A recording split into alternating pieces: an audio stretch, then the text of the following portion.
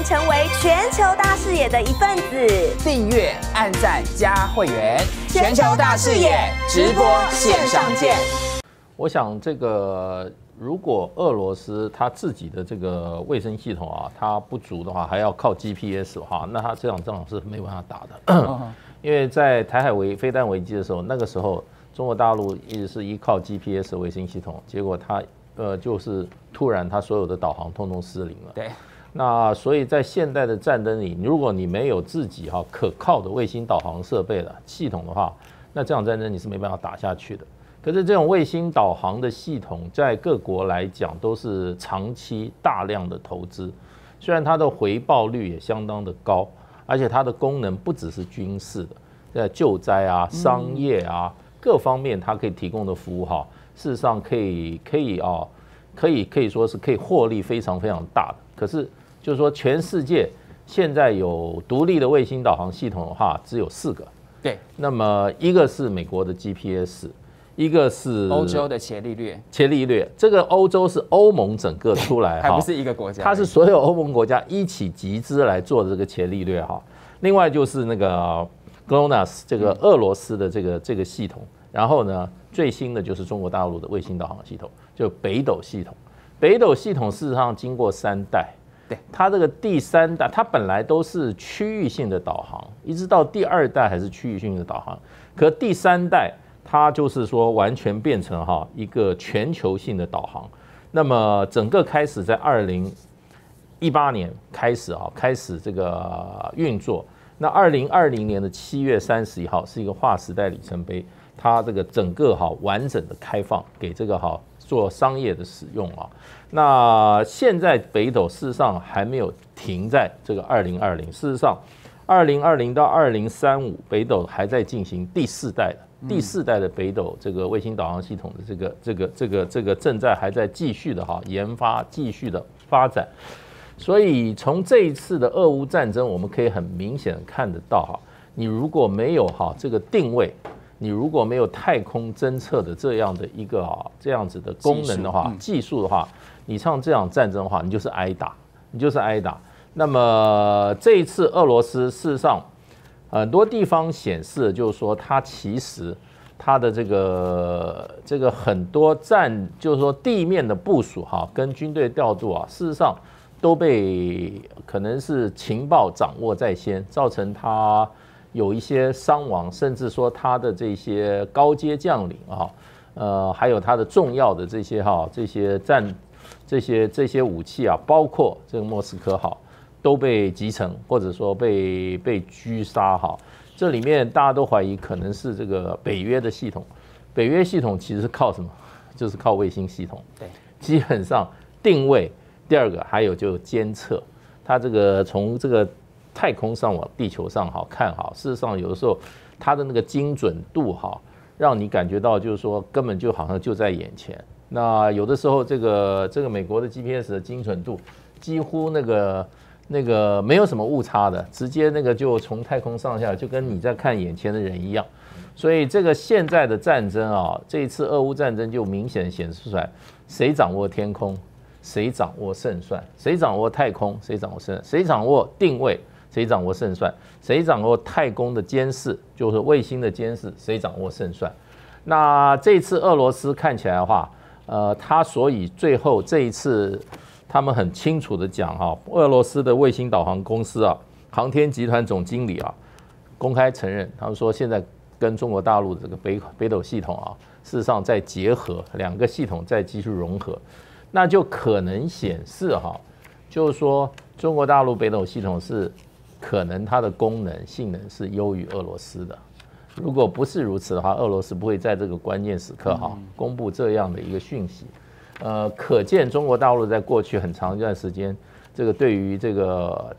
这个导航系统啊，还有这个整个太空卫星哈，这种定位观测卫星的这个这个这个建设哈，那么证明它是在军事上有极高的价值的。那将来很可能就是说，我想的话，呃，美国跟中国大陆也好，跟俄罗斯的这个在地球上的哈，这这个哈。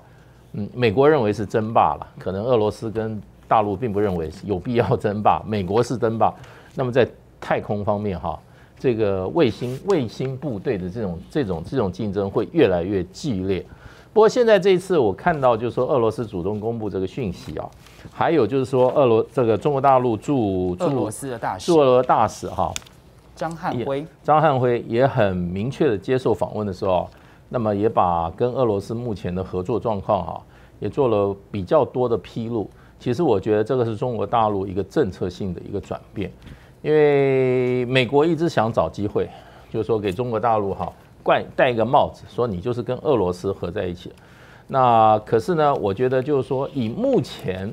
这个国际局势哈，这个权力平衡的发展的这个这个这个趋向，如果在这个过程当中啊，中国大陆啊对俄罗斯啊还是啊感觉上没有哈给他一些哈呃一种合作的迹象哈。那事实上的话，将来美国啊，他就会各个击破。然后就是说，他这次如果把俄罗斯，不管是最后的结果怎么样，那么下一次就轮到中国大陆了。我想这个是大家都可以看得很清楚的。美国这个借助别人之手打代理战争啊，这个目标是不会放。俄罗斯现在是首当其冲，下一波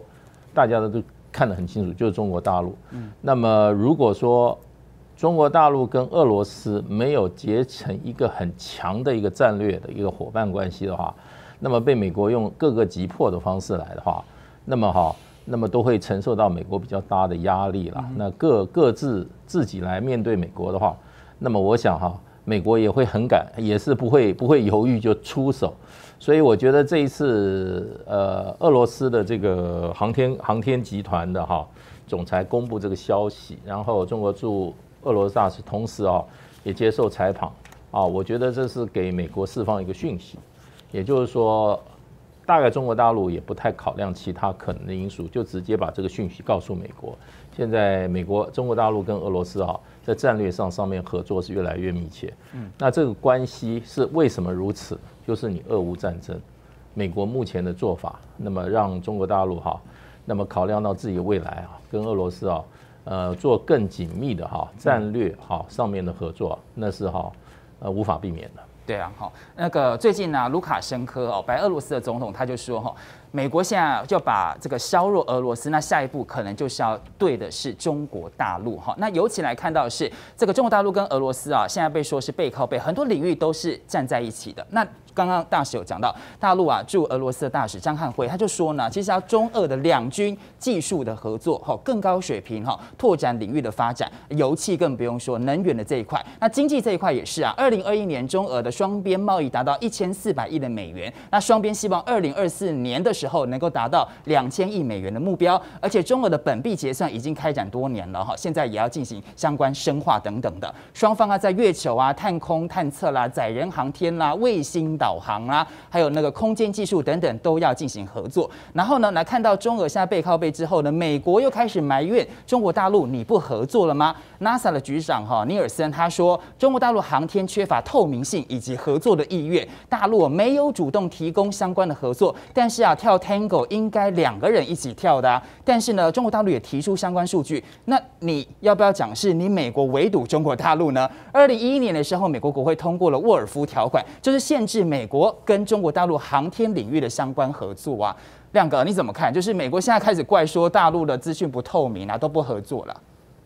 不是美国不让他中国参加这个国际航天站啊，所以中国才发展自己的啊。就好像美国阻止欧洲的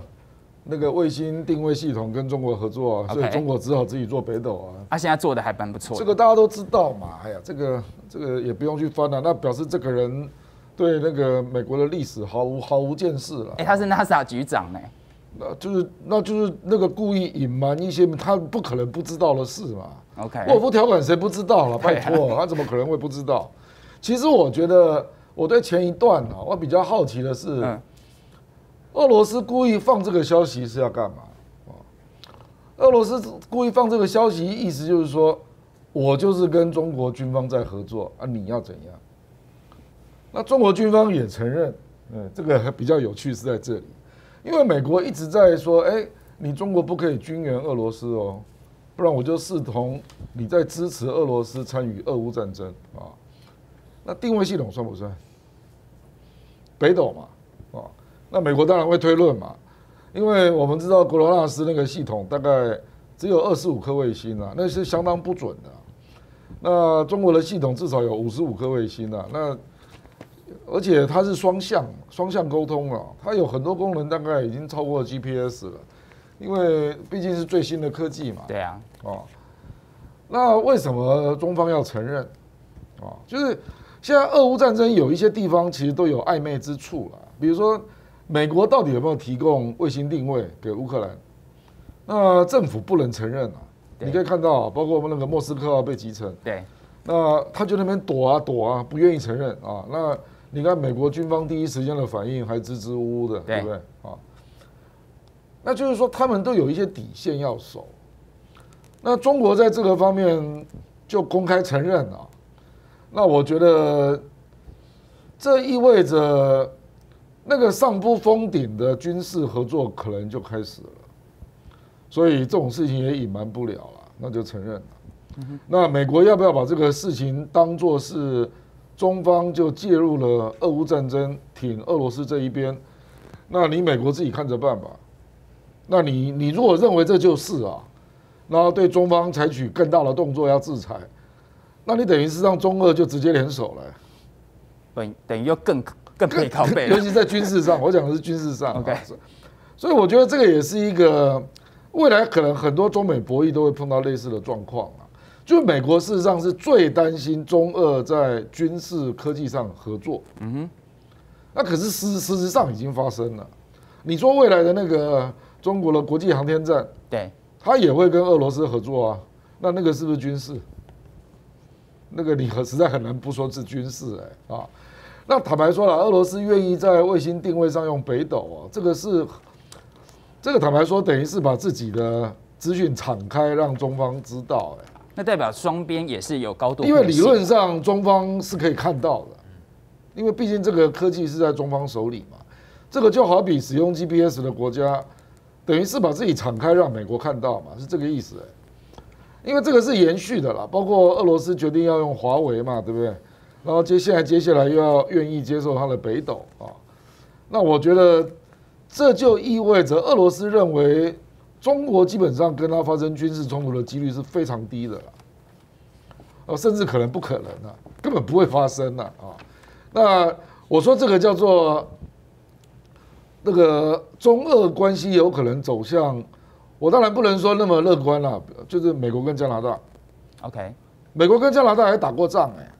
那是经过了一百年慢慢才磨成今天这个样子。那几乎是磨成不用签证嘛，那就自由来往嘛，所以这个大概就是中国跟俄罗斯有史以来最好的一个时刻了。哦，这个比那个中国共产党刚拿拿到政权的时候关系更好，因为那个时候其实斯大林还是有一点疑惧了。对，那一直到中国介入韩战嘛，